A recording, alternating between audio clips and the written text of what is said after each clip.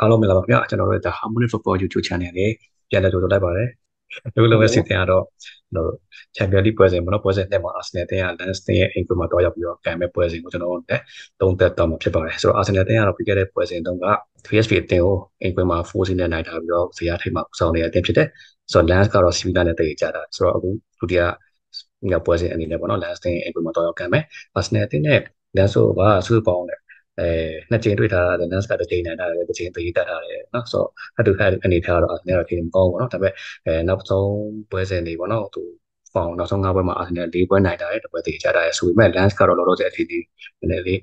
ဟိုဘောနော်ဖောင်နေတဲ့အောက်အောက်ပေါ့နော်ဒီနှစ်ပွဲနိုင်တစ်ပွဲရှုံးတာပြီးတော့တစ်ပွဲသေးကြထားတယ်ပေါ့နော်ဆိုတော့ Lens ရဲ့အဲသူတို့ဟိုပြန်တဲ့ဒီကူးမှလည်းသူအချိန်လေးတိတ်မကောင်းထားတဲ့အနေထားကိုတွေ့ရတယ်။ ကဲဟုတ်ပြီညီလေးဝင်လေညီလေးအနေနဲ့ဒီပွဲကိုညီလေးဘယ်လိုမျိုးတောက်တက်လဲဘယ်လိုလိုက်ရလေထွက်လာမလဲဒါပြီးရင်ကို prediction လေးအနေနဲ့ညီလေး short to the point တစ်ချက်လေး review လုပ်ပြပါအောင်။ကျမင်္ဂလာပါဒီနေ့ပွဲပြောဆိုလိုက် ရလင်းရဲ့အင်ကွင်းမှာသွားကန်ရမယ်ကျွန်တော်တို့အရင်ပွဲအရင်ဒီပွဲမှာတော့ကျွန်တော်တို့ဒီ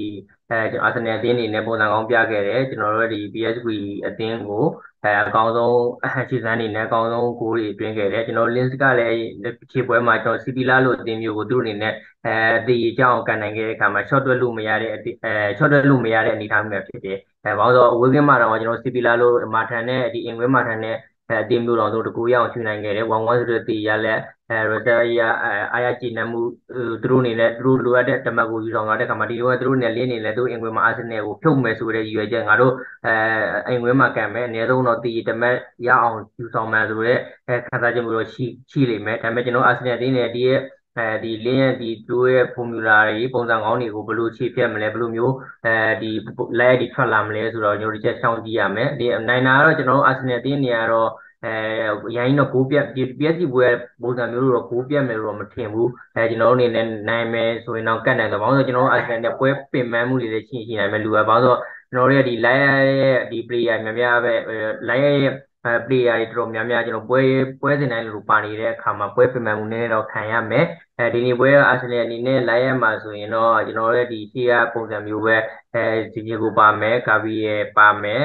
ဒီဝီလျံစလီပါပန်ဝိုက်ပေါ့ကွင်းလက်ပိုင်းမှာတော့သူ့နေရာနည်းနည်းတော့အဲကျွန်တော်ထင်တော့ပြောင်းလဲလုပ်မယ်တော့မြင်တယ်ဗျာဒီကရက်ကတော့ပါမယ်ဒါပေမဲ့ဟာဘတ်နေရာမှာပေါ့အဲဒီ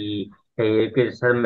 စမီရိုးထဲမလားဒီကျွန်တော်တို့ဖာဘီလိုဗီရာထဲမလားမပြီးဒါမှမဟုတ်မာတင်အိုရီကတော့ပါမှာပါတို့ဒီမာတင်အိုရီကကပိနေတော့အာဆင်နယ်ရဲ့ရာဂိုင်တော့တော်များများမတင်ကိုလည်းပါမယ်ဒီတိုက်စစ်ပိုင်းမှာတော့ဒီထော်စောပြန်လဲပေါဝင်လာမယ်ထင်တယ်ပြီးရင်ကျွန်တော်တို့ဒီကာဗီဂျီဆူးတဲ့ပြီးရဲ့ဘူကာဆာကာနဲ့တော့တွဲမယ်ထင်တယ်ဒါတော့ဘူကာဆာရဲ့ဒီဘက်မှာဒီနေ့ရဲ့ training မှာလည်းပါဝင်တယ်ပြီးတော့ကျွန်တော်တို့ရဲ့ပါတီကလည်း training တော့ဆင်းနေပြီကွင်းလဲဘက်မှာ ပါမလားမပါလားအရင်လောက်ပဲပါမလားဆိုတော့ကျွန်တော်တို့အနေနဲ့တော့စောင့်ကြည့်ရမယ့်ပွဲကိုမြင်တယ်။ဗဇက်ရပြောမယ်ဆိုရင်တော့ကျွန်တော်အာဆင်နယ်တင်းနေတော့နိုင်သွားမယ်ဒါပေမဲ့အရင်ဒီနေ့ပွဲကတော့အဲဂိုးမပြက်လာဘူးသူအနေနဲ့လည်းဂိုးကြီးမပေးရလောက်ဘူးလို့ထင်တယ်။ဘာလို့ဆိုအာဆင်နယ်တွေကအဝေးကင်းသွားခံရတဲ့အခါမှာအဝေးကင်းဖောင်ကအရန်ကောင်းနေတဲ့အတင်းဖြစ်တယ်။အဲခံစစ်ပန်းအရန်တီးကြတယ်ကွင်းလဲအဲကွင်းလဲခံစစ်ပြီးတော့ကိုရမအနေထားလဲအဲကိုသမားရဲ့ကိုသမားရဲ့ဒီပတ်စင်ပါညာအဲဒီ clean sheet တွေကလည်းအရ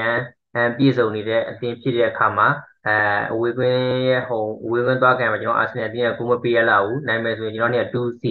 အဲအဲ့လောက်ပဲလို့ထင်တယ်တကယ်လို့ဂိုးပေးရမယ်ဆိုရင်တကူလောက်ပဲပေးရမယ်လို့မြင်နေဆရာဟုတ်ဟုတ်ကဲ့ပါညီလေးအတင်အတင်နေနဲ့ပြီးခဲ့တဲ့ Sunday နေ့တော့ပေါ့နော်ဘောမောအတင်အိမ်ပေါ်လာတော့ပြီးအဝေးကွင်းတော့ပြန်ကန်ထားတယ်ပေါ့နော်ဆိုတော့အဲ့ဘက်မှာလည်းအဓိက player တွေအနိုင်ဒေတာတော့အချိန်မှာဦးစားထည့်ပြီးတော့နော်အနာပေးရတာတွေ့ရတယ်ဆိုတော့ဒီဘက်မှာလည်းအဓိကတကယ်အတင်ရဲ့ main frame ကိုပဲထွက်လာပဲလို့ကိုယူဆရဲ harvest ပါမပါတစ်ချက်ဆောင်ကြည့်ရမယ်ပေါ့နော်ပြီးတော့ဒီတိုက်စစ်များဦးမှာပေါ့နော်ကပီကြီးစက်ကိုဦးဆောင်ခိုင်းမလားကယ်ရီကပဲဦးဆောင်လို့ပေါ်ထွက်လာမှာဒါလေးရောတစ်ချက်တော့ကြည့်ဖို့တော့လိုတယ်ပေါ့နော်ကျန်တဲ့တခြား player တွေရောဒီပုံစံတိုင်းပဲထွက်လာဖို့ရှိတယ်ပြီးတော့ lens အတင်းရဲ့ aim ဆိုတာနည်းနည်းလေးတော့ခက်ခဲနိုင်တယ်ရုံးကန်နိုင်ကြတော့ရှိတယ်ဒါပေမဲ့ဟိုကိုအတင်းဆိုတော့ကိုကတော့အတင်းနိုင်မယ်လို့ယူဆတယ်တကူတော့ပေးရနိုင်ကြရှိတယ်1 2 1လောက်တော့သွားမယ်လို့ကိုယူဆတယ်ပေါ့နော်အဲပြောရရင်ပေါ့နော်ဒီပွဲကတော့ချန်ပီယံလိ ကစားခဲ့နောက်ဆုံး6နှစ်အတွင်းမှာ